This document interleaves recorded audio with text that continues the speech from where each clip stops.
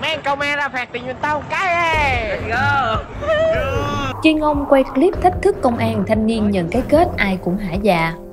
Mới đây trên mạng xã hội xuất hiện đoạn clip ba thanh thiếu niên điều khiển xe máy đã không đội mũ bảo hiểm kẹp ba mà còn lạng lách, đánh võng trên đường.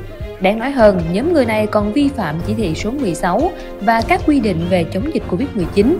Chưa dừng lại ở đó, các thanh niên còn tự quay clip với lời lẽ thách thức cơ quan công an. Theo đoạn clip, thanh niên mặc áo sọc đen trắng điều khiển xe máy cười cợt liên tục thách thức, công an ra phạt tiền dùm cái. Hai thanh niên ngồi đằng sau còn cổ vũ, hò hét nhiệt tình. Ngay sau khi được đăng tải, đoạn clip đã khiến dư luận vô cùng bức xúc. Nhóm thanh niên dù còn trẻ nhưng có hành vi vi phạm pháp luật, coi thường pháp luật và cơ quan chức năng. Tuy nhiên, ngay sau đó cái kết cho thanh niên này khiến cho nhiều người vô cùng hả hê.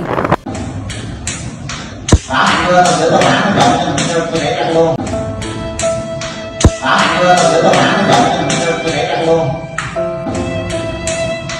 Thanh niên điều khiển xe máy có lời lẽ thách thức cơ quan chức năng đã được tìm ra và mời lên trụ sở làm việc.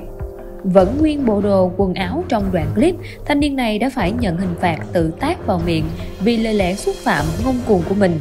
Chưa dừng lại, nam thanh niên cũng phải tự quay clip để xin lỗi với nội dung Tôi là NST trú tại khu phố 2 phường Văn Hải.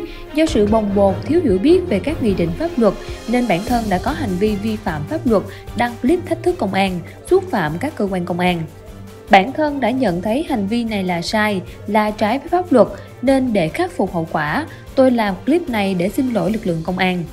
Tôi cam kết sẽ không bao giờ tái phạm, anh em nào có ý định như tôi thì nên từ bỏ. Do sự bồng bột thiếu hiểu biết các quy định của pháp luật bản thân đã có hành vi vi phạm pháp luật, thách thức công an, xúc phạm các cơ quan công an.